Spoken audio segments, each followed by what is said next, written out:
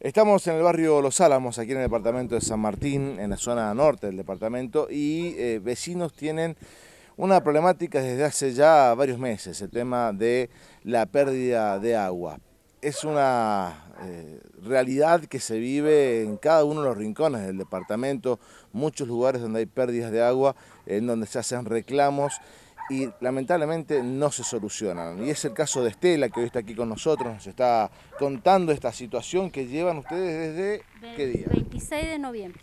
Es el 26 de noviembre que vienen reclamando. Sí, yo vengo reclamando día por medio, reclamo, día por medio, día por medio reclamo. Y no es nada tanto la pérdida, los mosquitos, el olor, ya, ya es suficiente. Me arrimé a las oficinas de acá, de San Martín, un día lunes, y vinieron, sí, pero arreglaron una pérdida que había muy grande ahí, si hubieran venido antes se lo hubieran visto. Arreglaron otra a la vuelta y acá ni han venido, ni han venido. Y ustedes están viendo la pérdida que es, es mucha agua. Eh, eh, ¿Comenzó así con este tipo de pérdida o se fue eh, mm, haciendo más grande a medida que pasó el tiempo? Empezó en la vereda, como dos años, y el hombre de al lado la arregló así y después ya empezó a salir por acá el agua. Como le digo, hacen, bueno, yo hice la reclamo con el 26 de noviembre, pero ya venía la pérdida cuando yo me di cuenta, entonces empecé a reclamar. Y día por medio ya, día por medio. Son muchos litros que caen por día. Sí, usted fíjese, es una cantidad, aparte el agua, bueno, cuando se mermó el agua, daba la vuelta. Y todos los vecinos regamos de lo que sale de acá del agua pero no es justo. Hay gente que no tiene agua. Aparte, cuando la ven con la manguerita, ahí nomás vienen y te sacan la fotito y la multa. Entonces no es así. Y yo tengo las boletas al día. Así que ese es mi reclamo. ¿Ha ocasionado algún inconveniente en el tema de presión de agua en los domicilios? A mí sí, a mí sí. Aparte estos caños, eh, cuando yo fui pregunté, son compartidos, dos casas. Así que ocasiona reclamo. Y yo tengo mi tía que es discapacitada y no la puedo dejar sola para ir a hacer reclamo de vuelta. Por eso me dirigí a ustedes para que vean. Bien, entonces desde el 25 de noviembre vienen reclamando prácticamente todos los días. Se acercaron pero no solucionaron el problema que usted tenía. A la vuelta sí, pero acá ni han venido.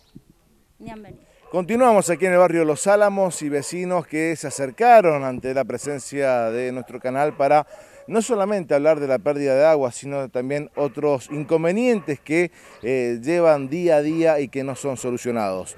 Bueno, antes que nada, gracias por recibirnos aquí en el barrio y eh, en la oportunidad de esta de ustedes poder eh, expresar los inconvenientes que están teniendo. Sí, buen día, joven. El problema de nosotros es el agua de las cunetas y que no se ha fumigado mal los árboles. Y es una cantidad de mosquitos y hay muchos niños y se enferman y y, como, y allá en el fondo tenemos, entre medio de los árboles, hay una tapa que se ha salido de obra sanitaria, que no sé, la sacaron de ahí, no sé si donde vienen a destapar los, los pozos. Entonces ahí se está tapando con yuyo, ahí va a caer un niño, no está la tapa, no lo dejaron así, no está la tapa, así que por eso queremos a ver qué pueden hacer. Bien, eh, además también eh, ustedes dicen el tema del agua, a través de la pérdida, le ocasiona muchos problemas, el tema de mosquitos y la fumigación. ¿Esto se venía desarrollando, desarrollando años anteriores y ahora no se hizo? Antes se fumigaba mucho y se veía todo eso, apenas llamamos, eh, ya los reclamos, pero ahora lo abandonaron por completamente, los abandonaron. Y igual que la basura, pero yo digo, ¿por qué esa cantidad de basura ahí? ¿Por qué? Porque la gente tiene para tirar la basura donde la tienen que tirar y la tiran afuera. Y no puede ser eso, tienen que poner un letrero ahí prohibido tirar basura ahí en el suelo. Eh, después hay un cruce aquí en donde ustedes dicen que hay mucho olor nauseabundo. Sí, aquí en, el cruce de la ruta, eh, en el Trecachil Norte y Pedro Vargas, es un olor que no se aguanta. En las noches, ustedes no saben, yo, mi patio da para aquel lado y se siente el olor. Y, no es esto de ahora, esto es de hace bastante. No sé qué problema es el que hay, que se siente muy mucho olor. Aparte, en, esto que está pasando ahora no pasaba años anteriores.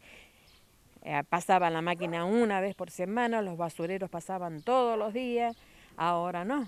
Ahora pasa, no sé, ya, ya, no, a mí me, se me ha descontrolado los días que pasa el basurero, el día que pasa la máquina, porque no, nosotros sacamos la basura cuando va a pasar la máquina.